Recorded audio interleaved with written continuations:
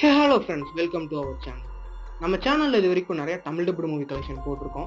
அதுக்கு நாங்கள் ரெஸ்பான்ஸ் பண்ணதை விட நிறைய likes and shares and comments views நிறைய வந்திருக்கு.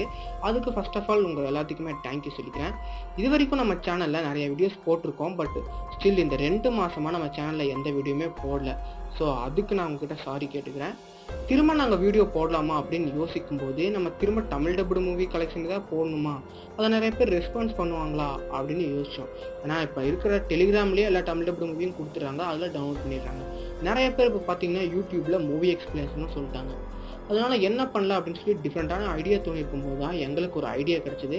அது என்னன்னா இப்போ இருக்க வேர்ல்டில் ஆடியன்ஸ் எல்லாருமே இந்த வேர்ல்டில் இருக்க டிஃப்ரெண்ட்டான மூவியெல்லாம் ஏற்றி பார்க்குறாங்க ஏன்னா லாங்குவேஜ் அவங்களுக்கு ஒரு ப்ராப்ளமே இல்லை.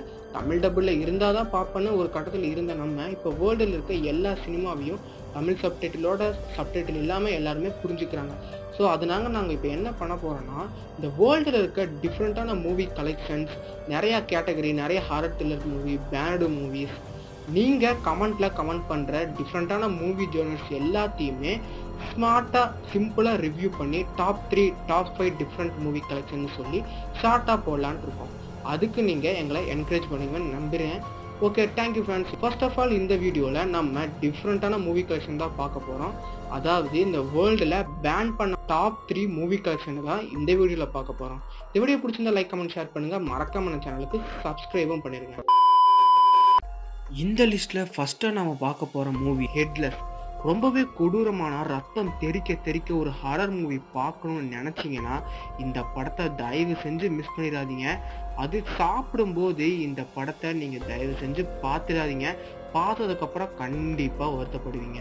ஒரு சைக்கோ கொலைகாரன் ஒரு சிட்டியில் இருக்க ஒவ்வொரு பொண்ணாக கிடத்திட்டு வந்து அவங்க உடம்புல ஒட்டு துணி இல்லாமல் கலட்டி அவங்க பிறப்பு உறுப்பை அறுத்து அவங்க கண்ணை வெட்டி கொடூரமாக சாப்பிடுவான் கற்பழிக்கவும் செய்வான்.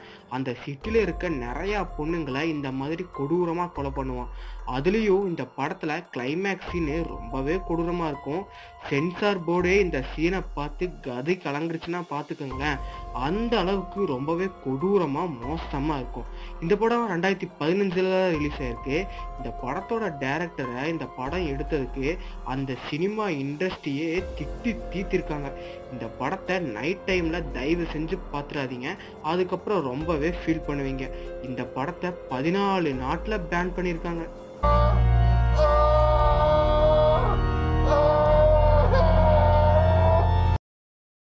Salo or the one twenty days of Sodom எனக்கு தெரிஞ்சு இந்த உலகத்திலேயே மோசமான கேடு கெட்ட படம்னா அது இந்த படம் தான் படத்தோட ஸ்டோரி என்னென்னா ஒரு சிட்டியோட சீஃபோ அந்த சிட்டியில் இருக்க விஐபிஸ் எல்லாமே சேர்ந்து அங்கே இருக்க மக்களை நார்மலான மனுஷங்க மாதிரி ட்ரீட் பண்ணாமல் ஒரு விலங்கை விட கேவலமாக ட்ரீட் பண்ணுவாங்க.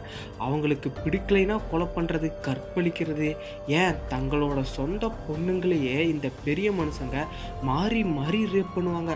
அது மட்டுமா? மனித கழிவை திங்க சொல்லி அவங்களோட மனித கழிவையே நிறையா பேரை திங்க சொல்லி டார்ச்சர் பண்ணுவாங்க.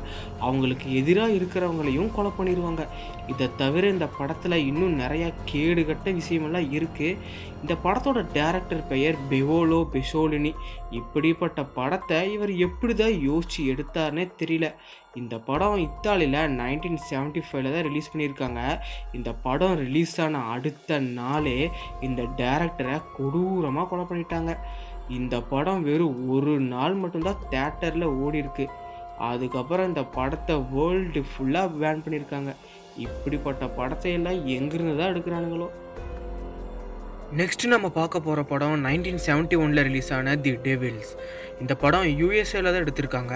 இந்த படம் எடுத்த அந்த டைமில் அந்த நாட்டில் மத கலவரமே பயங்கரமாக வெடிச்சதுன்னே சொல்லலாம். ஏன்னா கிறிஸ்டியானிட்டியில் இருக்க நன்ஸ் எல்லாமே தப்பாக காமிச்சிருக்காங்கன்னும் அதிகமான செக்ஸுவல் கண்டென்ட் இருக்கனால இந்த படத்தை அமெரிக்காவில் மட்டும் இல்லாமல் இந்த படம் ரிலீஸ் ஆக இருந்த பதினெட்டு கண்ட்ரிலையும் இந்த படத்தை பேன் பண்ணியிருக்காங்க ஒரு கிறிஸ்டியானிட்டி கான்வெர்ட்டில் படிக்கிற ஒரு நன் செக்ஸுவலாக அஃபெக்ட் ஆகுறாங்க. அதனால என்னென்ன பிரச்சனை வருது? இதனால அங்கே இருக்க மற்ற நன்ஸ் எல்லாம் எப்படி பாதிக்கிறாங்கன்னு நிறையா செக்ஸுவலான சீனை காட்டி இந்த படத்தை எடுத்திருக்காங்க. இந்த படத்தை யாரும் இல்லாமல் தனியாக உட்காந்து பாருங்க. அதுதான் உங்களுக்கும் நல்லது. செக்ஸுவல் சீன் எல்லாமே எந்த ஒரு மறைவும் இல்லாமல் ஓப்பனாக காமிச்சிருப்பாங்க. செங்கிள்ஸ் எல்லாம் இந்த படத்தை விரும்பியே பார்க்கலாம்.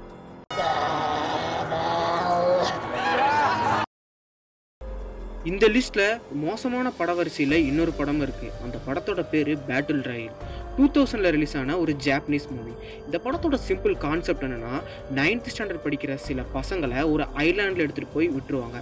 அங்கே அந்த பசங்களை சின்ன கேம் விளையாடணும் அப்படின்னு சொல்லி ஒரு கண்டிஷனை போடுவாங்க. அது என்னென்னா அந்த ஐலாண்டில் ஒருத்தருக்கு ஒருத்தர் அடிச்சுக்கிட்டு சாவணும். யார் கடைசி வரைக்கும் அந்த ஐலாண்டில் உயிரோடு இருக்காங்களோ அவங்க தான் இந்த கேமோட வின்னர்னு சொல்லி அங்கே கூப்பிட்டு போய் அவங்க என்னென்ன அட்ராசிட்டி பண்ணுறாங்க அப்படிங்கிற அந்த படத்தோட ஸ்டோரியை அவங்க பேரண்ட்ஸ் கிட்ட எல்லாம் ஒரு சின்ன கேம் தான் சொல்லி போய் சொல்லிட்டு கூப்பிட்டு போய் அங்கே இந்த பசங்களை மைண்ட் வாஷ் பண்ணி அவங்கள ஒருத்தருக்கு ஒருத்தருக்கு அடித்து சாக சொல்லி ரொம்பவா டார்ச்சர் பண்ணுவாங்க. அதுலேயும் அந்த பசங்க சரி சாதாரண சின்ன பசங்க தானே என்ன பண்ணிட போகிறாங்க அப்படின்னு பார்த்தா ஒருத்தருக்கு ஒரு ஒருத்தர் கொடூரமாக தாக்கி ரணகலமாக குதூகலமாக பண்ணி ஒருத்தனுக்கு ஒருத்தனுக்கு கொடூரமாக கொன்று அவங்கள சாவடிப்பாங்க.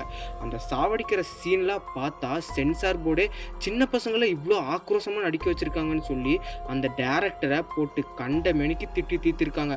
அந்த அளவுக்கு இந்த படம் ஜாப்பனீஸ் ஃபிலிம்லேயே ரொம்ப கொடூரமான படமாக ரிலீஸ் ஆயிருக்கு.